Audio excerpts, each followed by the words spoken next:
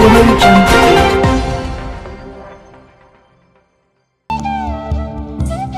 Five ಟಿವಿಗೆ ಸ್ವಾಗತ. ನಾನು ನಿಮ್ಮ ರೂಪ.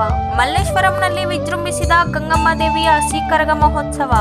ಬೆಂಗಳೂರು ನಗರ ಮಲ್ಲೇಶ್ವರಂನಲ್ಲಿ ಪ್ರಸಿದ್ಧವಾಗಿರುವ ಶ್ರೀ ಗಂಗಮ್ಮ ದೇವಿಯ ಜಾತ್ರೆ ಮತ್ತು ಹಸಿ ಮಹೋತ್ಸವವು ನಗರದಲ್ಲಿ ಮಹಾಮಳೆಯ ನಡುವೆಯೂ ಮೂರು ದಿನ ಊರ ಹಬ್ಬವನ್ನು ಸಂಭ್ರಮ ಮತ್ತು ಸಡಗರದಿಂದ ಆಚರಿಸಲಾಯಿತು. ಮೊದಲನೆಯ ದಿನ ತಾಯಿಗೆ ಕ್ಷೀರಾಭಿಷೇಕ ನೆರವೇರಿತು. ಎರಡನೇ ದಿನ ಹಸಿಕರಗ ಪೂಜಾ ಮತ್ತು ಸುಮಂಗಳಿ ಪೂಜೆ. ಮೂರನೇ ದಿನ ಅನ್ನ ಸಂತರ್ಪಣೆ ಮತ್ತು ಸಡಗರ. ವಿಶೇಷವಾಗಿ ಅಲಂಕಾರ ಭೂಷಿತಳಾದ ಅಮ್ಮನವರ ಮೆರವಣಿಗೆ ಮತ್ತು ತೀರ್ಥ ಪ್ರಸಾದ ವಿನಿಯೋಗ.